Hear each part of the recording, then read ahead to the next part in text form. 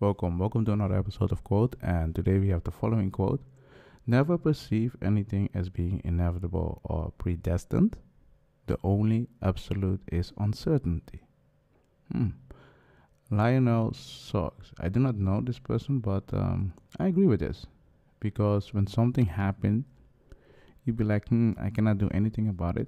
No, just accept it and see what you can do in order to get what you still want. That's how I see it. So nothing is absolute. Yes. When you do something, most of the time you're uncertain. It can be absolute when you don't do it. I agree with this part. Because let's say because you're uncertain to do something and you don't do it, that means you're not going to get what you want. That's absolute. But if you try, if you start doing it and you make some progress, you start to see, huh, it may or may not happen, but it all depends on me. So I agree with this because there are some things that I started to realize that if I don't do anything about it, it's not going to happen. It all depends on my hard work, if I'm going to put efforts in it or not.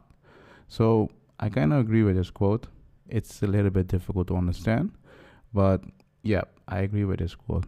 What do you think? Let me know in the comment. Do you agree with this quote, or would you be like, hmm, I don't know. I do not know what to think about this quote or I don't understand it. Let me know in the comment. I, I hope you guys like this episode and I'll see you guys in the next one.